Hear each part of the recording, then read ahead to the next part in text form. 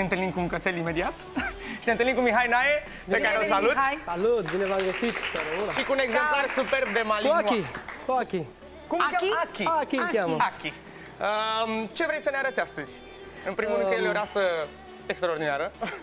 Este o rasă pe care te poți baza. La ora asta sunt uh, cei mai folosiți câini uh, de către poliție, da?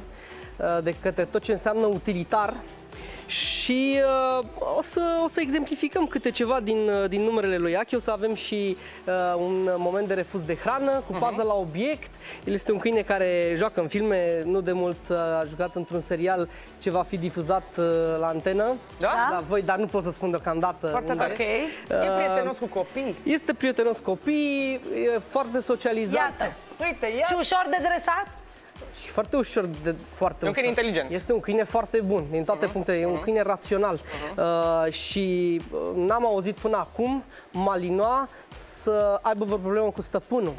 În schimb, este important atunci când îți iei un astfel de exemplar să știi ce-ți iei și să fie o mână de fier, Valabil la orice mâna tip de câine. fier Da. care ține capătul lesei. Foarte important. Mhm. Hai să ne retragem noi Hai. și să lăsăm Bravo, unul bebe. pe treaba.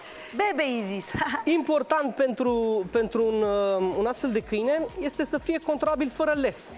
Eu încă lucrez cu ei, uh, de fapt din când în când lucrez cu ei pe recompensă, pe stimulent, pentru că stimulentul îl, îi menține acel tonus în lucru. Și uh, pentru un câine dresat, da, atent, uh, li- aici, uh, limbajul prin semne este important. Hai, treci! Bravo, pas! Aici! Treci! Culcat! Mort! Rostogol! Bravo! Excelent. Treci! Hai să vedem acum și pe semn. Așteaptă. Atent. Așteaptă.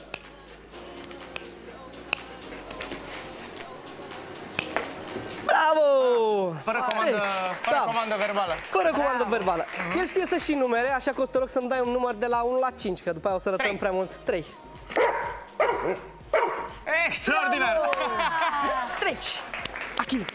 De la Hai, ce? Hai, mai dă-mi un. Uh, 2. Doamne! Acum vom avea și acest moment de care spuneam, de refuz de hrană, uh -huh. cu pază la obiect. Va trebui să vină infractorul să uh, îl momească, ca să spun așa, cu niște cremvuști, da. pentru că miros foarte apetisant, și să-i fure obiectul pe care eu îl voi lăsa. Atent, bravo, culcat, culcat. O să-l așteptăm pe infractorul nostru. Că vine infractorul. Așteaptă. De la ce vârstă e bine să încep? Pază. Uh, în general, 3 și jumătate, 4. Îl așteptăm. Vine infractorul. O să-i aruncăm, uh, o să-i aruncăm uh, cremvuștii, ia să vedem. Pe toți. Rămânem așa. Bravo! Bravo! Foarte bine! Ați văzut? A existat în moment... Bravo! Lasă! Ha, Aici! Ah, Bravo! Alunecăm foarte Alunecă, tare. Știți? Bravo! Uh, ați văzut, a existat un, un moment în care a vrut să-l păcălească, adică o iau, nu o iau. Și atunci câinele a ezitat, a zis, mi-o ia sau nu îmi ia obiectul? Și atunci, când a văzut, uh, încă un lucru foarte important este, o să lăsăm acel obiect jos, am.